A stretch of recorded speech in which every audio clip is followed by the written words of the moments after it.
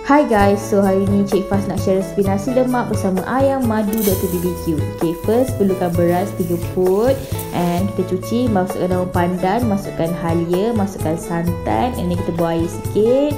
Lepas tu kita perasan garam gula. Okay, and then kita kacau je. Lepas tu sedialah untuk ditanak nasi tu. Lepas tu Fas dah dapat ayam madu Dr. BBQ ni ada hari tu lebih. So Fas nak gunakan dia untuk buat ayam madu. So perak-perak kacau-kacau and then biar dia mesra. Hmm, lepas tu masuk dalam air fryer je. Kan senang. Lepas tu goreng kacang tanah goreng ikan bilis.